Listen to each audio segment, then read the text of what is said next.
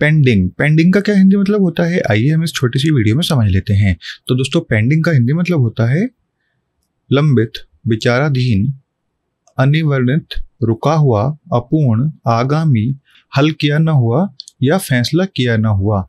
तो दोस्तों पेंडिंग का मतलब होता है जो भी चीज़ विचाराधीन होती है या कोई भी ऐसा कार्य जो अपूर्ण है। तो लंबित, विचाराधीन, अनिर्णित, रुका हुआ या अपूर्ण, आगामी, हल न किया हुआ या फैसला ना हुआ, इनके लिए इंग्लिश में पेंडिंग को यूज़ करते हैं पेंडिंग को।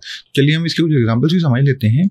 He was released on bail pending committal proceeding तो इसके लिए आप कह सकते हो, उन्हें प्रतिबंधता की कार्यवाही लंबित रहने तक जमानत पर रिहा कर दिया गया। दोस्तों इस सेंटेंस में पेंडिंग का मीनिंग हुआ लंबित। दोस्तों, उम्मीद है आपको इस वर्ड का मीनिंग अच्छे समझ आ गया होगा। इसी तरीके की वर्ड मीनिंग की जानकारी के लिए चैनल को सब्सक्राइब करने के साथ साथ बेल आइकन को प्रेस करना बिल्कुल ना भूलें, ताकि मेरी वीडियो की लेटेस्ट अपडेट आप तक सबसे पहले पहुँचे। और हाँ अब वोकेबलरी बैंक को इंस्टाग्राम पर भी जाके फॉलो कर सकते हैं। Thank you